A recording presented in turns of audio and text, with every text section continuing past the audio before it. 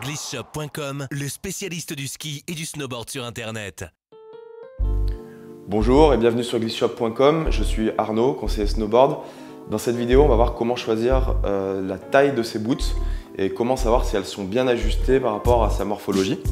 Euh, pour moi, les boots de snow, c'est l'élément le plus important au niveau du package, si vous êtes bien dedans, ben, c'est top. Par contre, euh, une, une mal ajustée ou qui ne va pas à votre pied, euh, ça peut gâcher toute la journée et provoquer vraiment euh, des douleurs ou être vraiment inconfortable.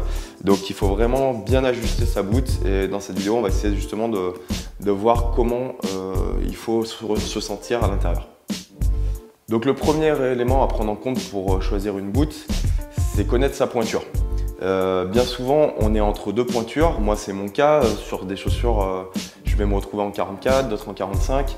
Donc, c'est vraiment dur de faire la part des choses. Déjà, entre des chaussures de ville qui chaussent différemment des baskets, etc. Donc, le premier élément qui peut donner un, point de, comparaison, c'est la, taille en monde au point. Donc la taille en monde au point, vous allez la retrouver dans vos, dans vos baskets, ou sur les boîtes de boot. En général, c'est la pointure en centimètres, donc 27, 28, 29, ou avec les demi, 27,5, etc. Euh, donc pour savoir si une botte est ajustée, quand on, l'a en main, on prend le chausson, on peut enlever déjà la semelle qui est à l'intérieur du chausson. Donc là, sur la marque Northwave, on voit très bien qu'il y a écrit 29 sur la, sur la semelle. Et quand on va la poser au sol, on met le pied dedans. Déjà, si vraiment le pied est rempli exactement la semelle, c'est un premier indicatif pour se dire qu'on est plutôt sur la bonne taille. Si on sent un peu le bout ou quoi, après ça risque d'être le mou du chausson, donc plutôt le, le la mousse du chausson, et ça risque d'être pas un, point, pas un point dur, mais plutôt quelque chose d'ajusté, puisque les mousses vont avoir tendance à se tasser. Donc au final, moi je sais que ma pointure serait plutôt du, 29 euh, si je recoupe entre mes baskets, mes différentes boots ou autres. Donc là, je pose la semelle en 29, je mets mon pied sur la semelle et je mets mon poids dessus. On voit que la semelle elle est quasiment parfaitement adaptée à mon pied. Donc logiquement, la pointure devrait être la bonne.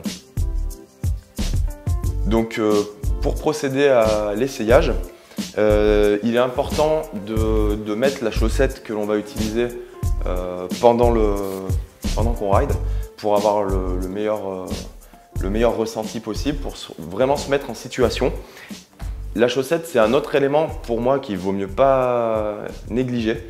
Si vous avez une bonne paire de chaussettes techniques, ça va permettre quand même d'éviter les frottements, ça ne changera pas votre pointure.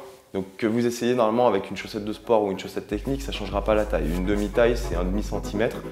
Une chaussette ne sera jamais assez épaisse euh, pour, combler une taille. Donc ne jamais mettre deux paires de chaussettes, ça risque de créer des frictions, des choses comme ça. Mettre une bonne paire de chaussettes techniques, haute, pour éviter les frottements. Euh, et là, normalement, il n'y a plus qu'à enfiler la botte pour euh, tester. Je précise que je suis en pantalon de, snowboard pour pouvoir relever facilement et essayer facilement, mais vous n'êtes pas obligé à la maison d'avoir euh, votre, votre pantalon. Hein. La chaussette suffira normalement. Donc, on enfile la boute. Une fois qu'elle est enfilée, l'idéal, ça va être de se mettre debout. On aura une position plus naturelle, on pourra mieux serrer la botte et vraiment ressentir ce qu'il faut ressentir. Voilà, donc une fois que la boute s'est passée, là, on ne peut pas du tout jauger la taille. Euh, là, pour, moi, c'est le cas. Il y a des renforts au niveau des malléoles en fait. Donc, tant que j'ai pas serré la boute, mon pied il est sur l'avant et là, je sens énormément le bout. Donc, de premier abord, comme ça, je dirais que la boute c'est trop petite, mais c'est pas forcément vrai. Il faut vraiment la serrer euh, pour, pour, pour jauger la taille. Que ce soit un système boa comme j'ai là, que ce soit un système la double lassage comme ça, ou que ce soit des lacets standards. Dans tous les cas, on va vraiment la mettre en situation, donc serrer le chausson le plus possible. Le chausson, à savoir que c'est pas là où on va vraiment gagner de la tenue, donc ça sert à rien de serrer ça comme euh, le plus fort possible. C'est pas là où vous allez vraiment euh, gagner de la tenue, vous risquez au contraire plutôt de, de, créer des points de pression. Le, top, c'est de le serrer juste assez pour sentir qu'il englobe bien votre pied et qu'il s'adapte à votre morphologie, tout simplement. Donc une fois que le chausson est serré, on passe au serrage extérieur. Donc pareil, hein, je vais le serrer comme si je partais rider, vraiment aussi fort, vraiment dans la même position. Et là, je ressens que mon pied, il a énormément reculé. On a presque gagné une demi-taille. Normalement, là, moi, une fois que je suis serré dedans, j'effleure un tout petit peu le bout du chausson. Et ça, c'est le rapport idéal. Vraiment, quand on est dedans, mon, orteil est à fleur sur le chausson, je sens un peu la mousse, mais j'ai pas de point dur. Et dès qu'on va se mettre en position de glisse, c'est-à-dire sur l'avant comme ça, ça recule le pied et là je ne sens plus le bout. Donc normalement c'est le rapport idéal. Sentir un petit peu le bout quand on est debout, quand la bout est neuve, et dès qu'on se met en appui avec le tibia en pointe de pied, on ne doit plus le sentir. Si euh, vous sentez encore un tout petit peu le bout euh, en appui, mais que, debout, vous n'avez pas un point dur, que vous arrivez quand même à avoir une certaine mobilité au niveau des orteils, ça devrait passer, puisque la, mousse gagne à peu près une demi-taille à l'usure. Donc il vaut mieux avoir une bout un peu trop juste neuve que trop grande. Si à, l'inverse, vous sentez vraiment pas du tout le bout une fois qu'elle est, est serrée, je vous conseille de prendre une pointure un tout petit peu plus juste. Euh, une fois que la bout va être raffaissée et que vous l'aurez ridé un petit peu, elle risque d'être vraiment trop grande et vous manquerez de maintien. Donc dernier élément à regarder, quand vous mettez en appui sur la pointe de pied, donc vraiment euh, essayer d'abuser un petit peu la flexion, hein. c'est pas une flexion qui sera vraiment très réaliste euh, sur votre snowboard, mais dans cette position là, votre pied, euh, le talon ne doit pas décoller, il doit bien rester plaqué au fond. C'est l'élément au final le plus important pour ne pas avoir de perte de tenue et pas avoir des, frictions au talon, des échauffements au voûte plantaire. Donc c'est vraiment l'élément, le dernier élément très important. Pour vous rassurer, j'ai un chausson en découpe ici. Donc on voit bien que c'est des mousses qui sont quand même très très denses. C'est des mousses qui ont une mémoire de forme, donc avec la chaleur de votre pied, elles vont se tasser un petit peu. Donc on voit quand même la possibilité de, gain de taille. Euh, c'est pour ça que si vous prenez vraiment une boot trop grande à la base, une fois qu'elles vont être tassées, vous allez vraiment nager dedans et vous allez manquer de tenue.